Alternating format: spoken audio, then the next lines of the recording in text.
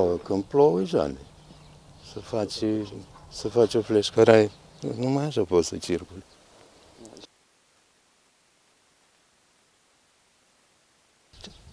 Ne minte de ani de zile. ce mai Zice că azi, mâine, azi, mâine, da. A făcut școala de mână. Am înțeles că a fost chiar și mai rău decât Oh, da, a fost.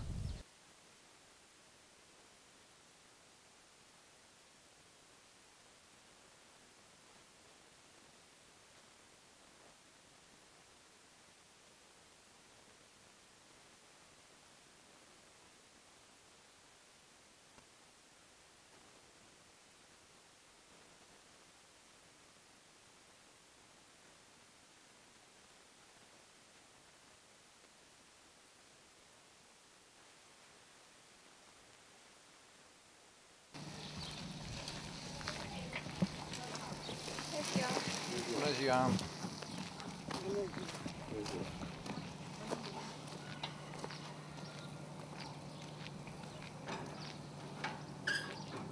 Deci dacă vă bagă asfalt, ar fi foarte tare. Mai spate un pic.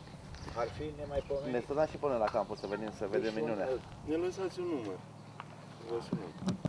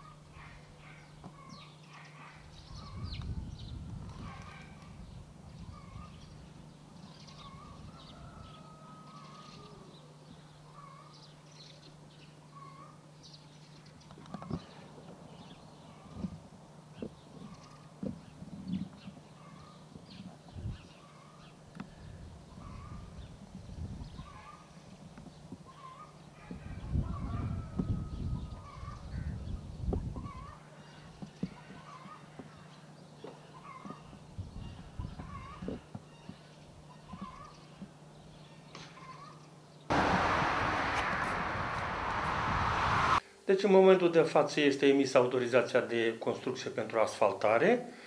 Uh, cum să face timpul frumos? Începem, uh, începem uh, lucrările. Deja s-a plombat Ișcolo, Așa, Ministerul Dezvoltării ne-a alocat până în momentul de față 6 miliarde. Urmează ca în momentul terminării lucrărilor să plătească și diferența până la 34 de miliarde de bani vechi. Uh va fi uh, asfaltat, uh, eu știu, uh, cu un proiect sau, nu știu, cu o licitație, cu ce să...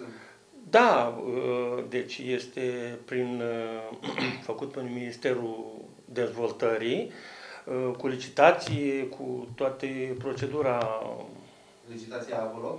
A avut loc, sigur că da, să știi firma care...